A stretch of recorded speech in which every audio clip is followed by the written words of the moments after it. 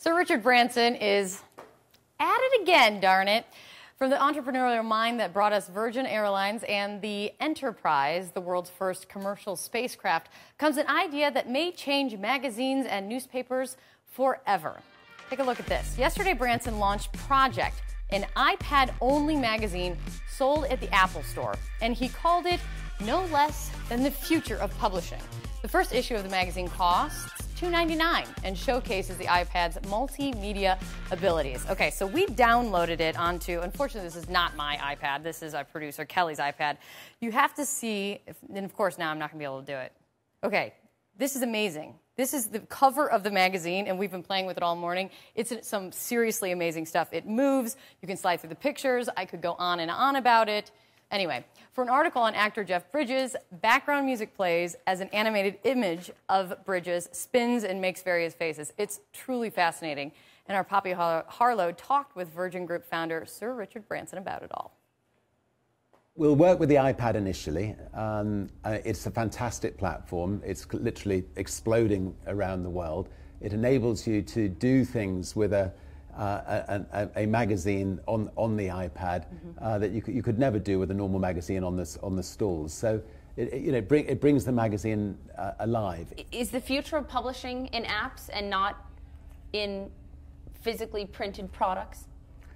Uh, sadly, for physical, physically printed products, I think the future is in apps. Uh, I mean, for an advertiser, you know, Virgin Atlantic, as a, you know, with our with our planes, for instance, if, if we advertise on target. Um, we, we, we're going to be able to you know, take people into the plane. We're, we're going to be able to let people hear the roar of the engines.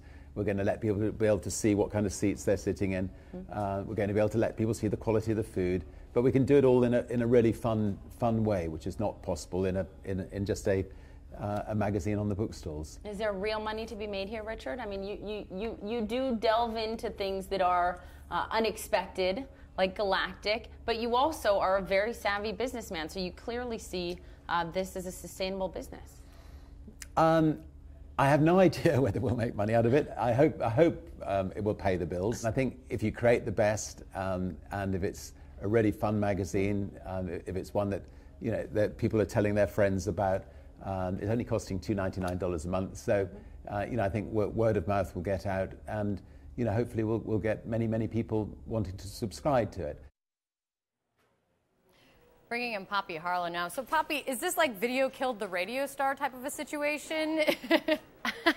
you know, it might be. What's interesting is Richard Branson is doing this, and we sort of know him, Kate, for uh, shaking up conventional industries, yeah. right? Look what he did to the music industry. Look what he did to the airline industry, and now he's doing it to publishers around the world. Uh, but what's interesting too is he's not the only mogul to do this. He is the first one to have a magazine that is only in an app and only on the iPad, but Rupert Murdoch, the media mogul, head of News Corp, is doing something similar. He's going to launch The Daily, a daily newspaper only on the iPad.